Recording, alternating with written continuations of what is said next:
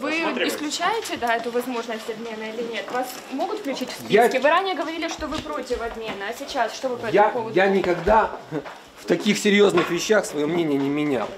Поэтому вот с первых дней, с того момента, как некоторые украинские чиновники и политики настаивали на моем обмене, я заявил, что э, вряд ли это возможно по отношению к невиновному человеку.